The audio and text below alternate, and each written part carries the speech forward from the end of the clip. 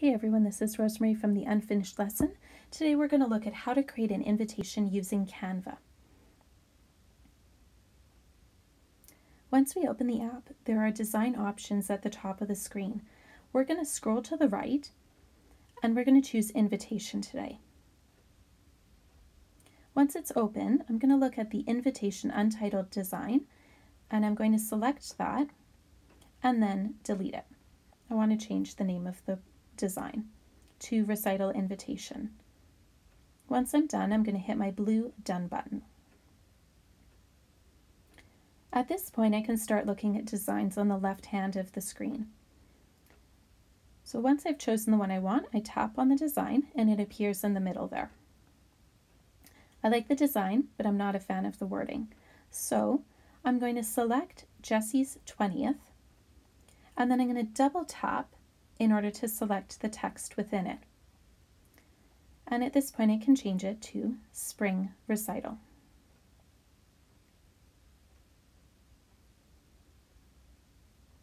Then I press the keyboard button on the bottom right and select the next text box and do the same thing. This time I'm only going to select part of the text within the box because I don't want to change all of it out.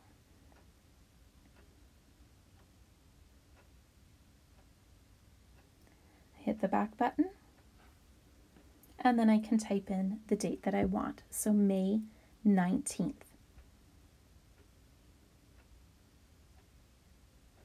Then I select the name of the restaurant, and I change that out for recital venue. At the bottom right hand corner, there's a keyboard with a down arrow. When I press that, it's going to take me back to my main screen. I think the CU there is a little bit small, so I'm going to select that and then double tap it to bring open my keyboard. And just above the keyboard there are two A's, one small and one big. I'm going to press the big one to bring it up and then close off my keyboard again. Overall, I'm starting to really like the way this is looking, but it seems to be missing something. I think that we need something at the top. So I'm going to select May 19th and copy it. And then holding it, I'm going to move it to the top so that I can change the wording here. By double tapping it, I've selected all of it, and then I can change the wording to join us at our. I'm going to hit that keyboard on the bottom right to close this out. And then it says join us at our spring recital, May 19th um, see you there. I think this is looking pretty good.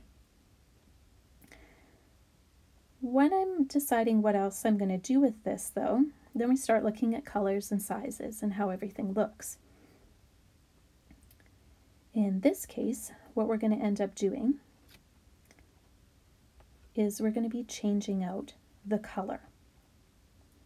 So at the, uh, we've selected the main box and when we press the white circle, it opens this up. And there's a circle that has different colors. When I move my finger on that circle, it gives me different options in terms of what colors I might want. And then I can use the slide at the bottom in order to change it as well. And so I can play with that until I get the one that I like. In this case, I'm starting to like how the flowers really pop when I go a bit darker.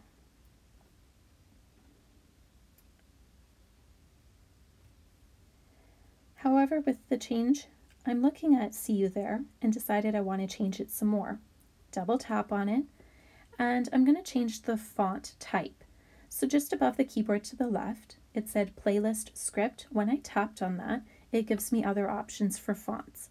I want something that's still cursive, but not quite as cursive as that one is. And then I can change the size, which is just to the right of that. Um, sometimes you can add bold or italics. In this case, you can't with this font type, but you can also change the color by tapping on that and then the plus sign. I'm going to make it a little bit lighter. Once I've decided on the color I like, I can also change the alignment, left, center, or right. In this case, I'm going to leave it center. And when I'm done, I click the keyboard on the bottom right. Overall, this is starting to look really good, and I think that my clients would really like it if they got it in the mail. So the last thing for us to do is to take a look at the download function. So you'll notice it's up on our upper right corner, download, and we're going to end up pressing that, and we can download it as an image or a PDF. If you're going to be printing this, you definitely want to download as a PDF. And so you click on that. And once it is finished downloading, if it's your computer, it'll ask you where on the computer. And if it's on your iPad, you can choose to print it directly, save it to files, mail it, even, you know, add it to your Google Drive or wherever you would like. And once you've selected it, you go back to the main screen. If you would like to save it as an image, we're going to go into download again, tap to clear the downloads just to make sure there's no issues. If you've saved it to your computer or your iPad, it won't go away and we're going to download an image. This way we can use it for social media or um, any other online things. This opens up your design and on the top right hand corner you can share it or save it to your images or even upload it into Facebook or other social media sources. And when you're done, you click on the Done button on the far left. I hope this shows how easy it is to create a print resource or a print uh, material. Thanks for watching. I hope you really enjoyed it. This is part of a video series for a guest post that I did on timtopham.com. I'll ensure a link to that article is in the um, box below. And if you have any questions or comments, leave them below. Visit me at theunfinishedlesson.com for more ideas. Thanks.